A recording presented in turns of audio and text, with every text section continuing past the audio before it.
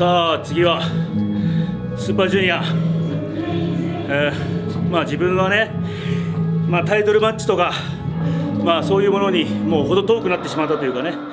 あの本当にどういう立場でどういう部分で出てモチベーションを上げるのか。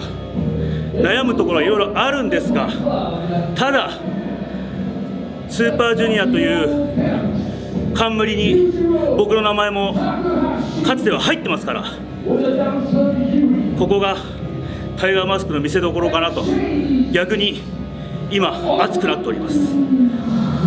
このまま今日のモチベーションをね次のスーパージュニアまで持ってってしっかりとまだ誰が出るか知らないんですけどまあ間違いなく僕よりもみんな若い素晴らしい選手ばかりですからあの戦うことも楽しみだしまた自分のうんそのかつてのね栄光じゃないけども別にそれを僕は見せびらかすつもりも何もないしただそういうものを持ってたというものをねあの試合でも見せていきたいなと随所にね見せていきたいなとはい思っております。とにかく次のスーパージュニア非常に楽しみにしております。はい以上です。チャレンジ4、えー、チャレンジ4 The Future of 田口ジャパンというシリーズ。いよいよ3つ目4つ目のチャレンジ、えー、櫛田棚橋、はいえー、フィンレイジュースと1つ目2つ目。残念ながら田口ジャパンの未来が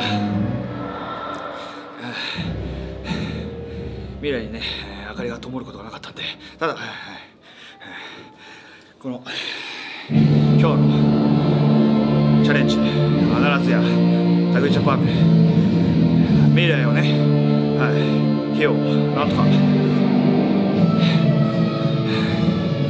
灯し続けて続けられるような結果を残してくれると思います。はいタグジャパン本当に全滅するようなことがあっては監督として何か責任を取らないといけない。そういったあ事態になるかもしれません、はい、突然の解任劇突然解任されるなら私は自ら、はい、退く、い、退きます。はい。はい。じゃはい。ダブジャパン。ただ次のシリーズ。はい。新しいグッズも出ますんで、はい。あその、はい、やっぱり与えられた 責任は与えられた仕事というのはとりあえず全うしたいと思います。はい、田口ジャパンの、えー、帽子を売るという仕事があります。ので、はい。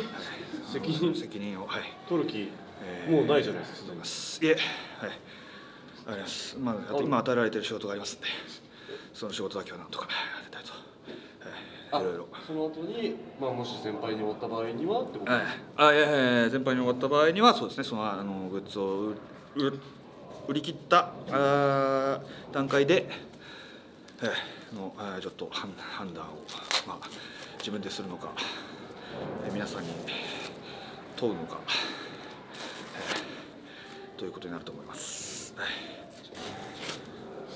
仕事。は、まあ、与えられた、はい、グッズがね、あ与えられた仕事、グッズが出ますんで、はい、新しいグッズ、タグジャパンのグッズが出ますんで、それはやっぱり会社的にも大きな損害になりますんで、今、突然思ってしまってはね、はい、タグジャパン解散ということになっては、やっぱり他のね、はいみんなにもね、迷惑かけ迷惑かけちゃいますんで、はい、はい、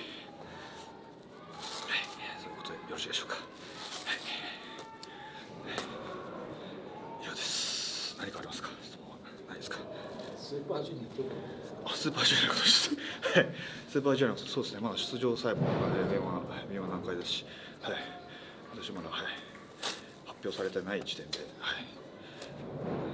どうこうというのはありませんけれども、ただグッズが新しく発売されますんで、なんとかやっぱりで出場するのとししないのではやっぱりグッズの売れ行きも違うと思いますんで、はい。やっぱり全然はいはいありますあると思いますんで、まあはい。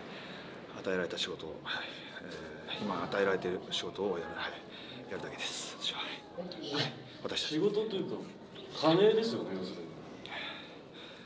そうですね、まあ、事務所に、あの事務所にも迷惑かかってしまいますんで、はい、はい、ね。えということです。はい、はい、はい。